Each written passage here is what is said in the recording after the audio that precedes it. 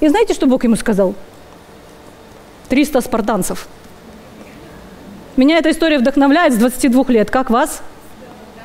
А она вся сбывается в моей жизни. Там тысячи за ним пошли, десятки тысяч. Он говорит, э, чтобы народ не возгордился, не сказал, что победили. 300 достаточно. Вот нас сколько? Проповедников. 300. И что они сделали? В одной руке труба, ту ту ту ту ту меч Гедеона, Салтаненко, мы из канала Салтаненко.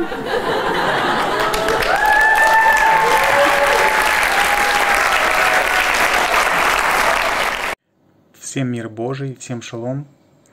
За всех молюсь, всех благословляю, чтобы в вашем сердце был мир Божий, покой, радость, чтобы пришло, пришло Божье спокойствие в ваш дом, в ваши сердца, и ничто не смогло вас пошатать. Потому что имя Господа – крепкая башня, в нее убегает праведник и безопасен. Ты знаешь, я сегодня подготовился, я сделал такой небольшой конспект. Скажи, пожалуйста, а ты когда смотришь проповеди, тоже записываешь? Тоже обращаешься к ним, да, только делаешь пометочки? Моя способность к действию, к познанию Бога, к ежедневному неустанному труду – это огромное благословение, это моя драгоценность. И так наполняет это нечеловеческая способность и нечеловеческая сила. И эту веру мы получаем от святых, от апостолов и передаем святым. Аминь. Она передается вот так по поколению от святых к святым. Они ее хранят, сберегают и передают. Поэтому мы с вами в 21 веке знаем Иисуса Христа. Слава Иисусу Христу! Аллилуйя!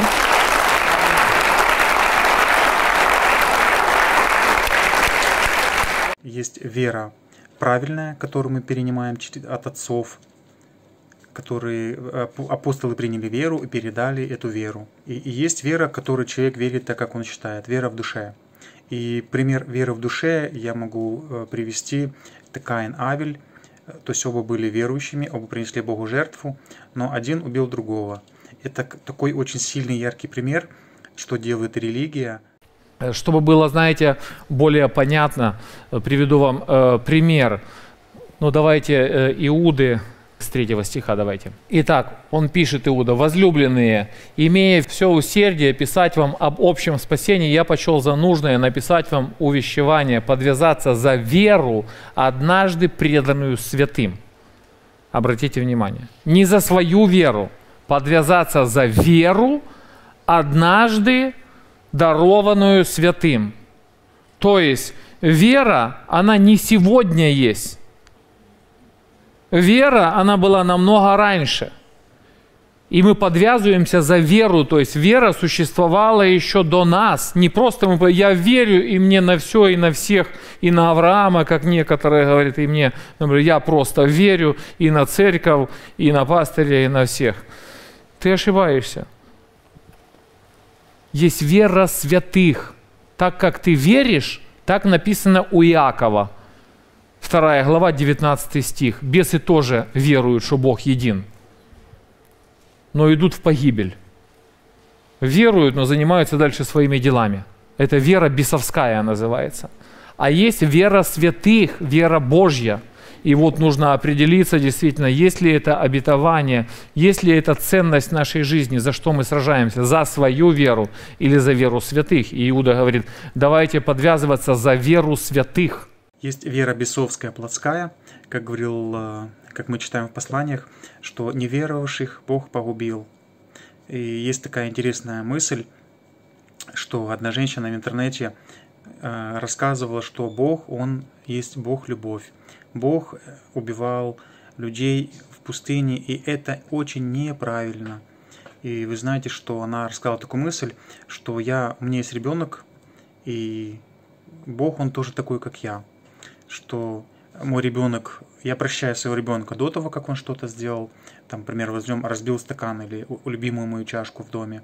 Я прощаю ребенка во время, когда он разбил, и также я прощаю после, когда он это уже сделал, даже наперед прощаю.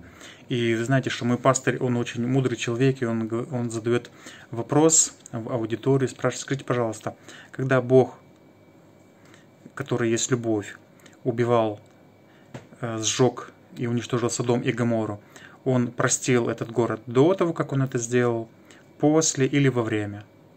И поэтому, чтобы не быть обманутым, нужно вникать в Библию, не нужно ничего придумывать, не нужно Богу опускать на свой плотской уровень, на уровень ограничен, уровень плотской – это уровень ограниченный. То есть мы не можем Бога опустить на наш уровень и сказать, если бы я был бы Богом, я бы поступил бы так. Это очень ограничено и неправильно, и это есть искушение Господа. Верой пошел. Еще интернета не было, знаете, между прочим, ну вот такого глобального, как сейчас. А сейчас мы пошли вообще до краев земли. Слава Иисусу! Верой! Движемся. Это все вера. Она действует. Верой Сара, Сарочка. Я как-то с сестрой, с Леночкой вот разговариваю, она говорит, трудов сколько стоило сына одного родить по плоти. Говорит, буду рождать по духу. Сейчас чуть, говорит, не подохла, когда родила. Очень огромных сил стоит, чтобы по плоти даже родить ребенка, да? Вырастить его, выносить. Колоссальных сил. Верой принимаем силу рождать это поколение. Эта вера дает нам способность эту, способность наша от Господа. Аминь. И поднимать это поколение. Поэтому у вас все получится. Если вы будете принимать веру от святых, и она передана святым, святые ее должны сохранить, святые ее должны передать. Это все вера, поэтому мы передаем ее поколению следующему. Кто тут у нас еще есть? Иосиф, Моисей. Верой Моисей захотел страдать с народом Божьим. О, там комментарий мне какой-то написали. Насрали. У кого-то там несдержание получилось на моей странице. Да выкинь ты это все. Что ты это нюхаешь? Верой Моисей захотел страдать народом Божьим. Поверьте мне, не все будут рады вашей проповеди. Диванное христианство особенно будет критиковать вас.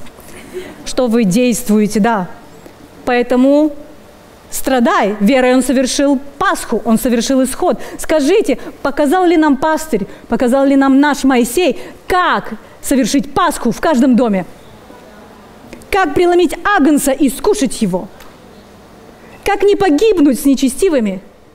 Ты знаешь, что еще плотская вера, она выражается в том, что я как христианин оставляю негативный комментарий где-то в социальной сети или высказываю негативное мнение о церкви другому верующему. Это является плотское христианство, это бесовская вера. Поэтому пока есть еще возможность, эту ошибку нужно исправить, нужно э, не писать комментарии негативные, извиниться и исправлять ошибку, не повторять больше ее. И Бог простит. Бог, Он милующий, и если человек обращается от греха, от беззакония, то Бог прощает. Вы понимаете? То, о чем говорит Иуда и вообще о чем все апостолы говорят, нам надо соединиться с верой. И когда ты соединяешься, то что-то да получается, но это не просто по твоей, это мое, это благодаря чьей-то вере, кто тебя запустил просто, понимаешь, да? То есть это содействие, это целая совокупность, целый механизм. А когда я просто брал людей, говорю, ну давай, иди попробуй сам. И что, у людей ничего не получается, а многие даже и в церковь не ходят. Вот она вера. Бесовская вера, плотская, она не работает, понимаете, да? А если Божья вера, она работает. Поэтому задача соединиться с Божьей верой, с верой святых. Аминь. Мы, как христиане, мы должны эту веру, которую переданы нам от отцов, принять, хранить и распространять дальше.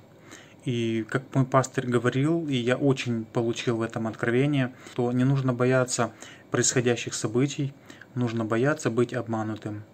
И когда апостолы спрашивали, Господи, когда же придет конец света? И он, Иисус свое откровение, то, что он знал, он рассказывал с момента, что берегите, чтобы кто не прелестил вас. И это очень важно, потому что можно было сказать, ну, будет там война будет или еще что-то будет. Иисус начинает именно с того, что нужно знать, кого я слушаю. Поэтому всех, всем благословений Божьих. Обязательно послушаем его пастыря. Эти все мысли я беру из проповеди у пастыря. Пастырь очень мудрый человек, он есть, я учусь у него размышлять, так как он думает, потому что он имеет результат. Поэтому присоединяйся, будем вместе достигать Евангелия до края земли.